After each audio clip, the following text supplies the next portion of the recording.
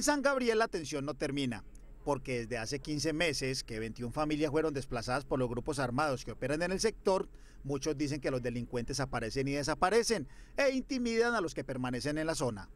Nosotros nos inquietamos mucho porque se metieron por unas partes donde no deberían. Durante un recorrido, representantes de la Personería, Defensoría del Pueblo y Naciones Unidas constataron el miedo y la zozobra de los habitantes. 16 familias se resisten a regresar. Todavía hay temor en la comunidad, todavía hay violencia dentro del sector. Traen policías de otro lado así uniformados que uno no conozca y que pegándonos, quedándonos puño en la barriga y cachetadas en la cara. Aunque se desestima por el momento un nuevo desplazamiento masivo, todavía se ven casas con sellos de protección. En lo corrido del año, las autoridades han atendido ocho muertes violentas ocurridas en sectores cercanos a San Gabriel, como Bellavista y La Loma.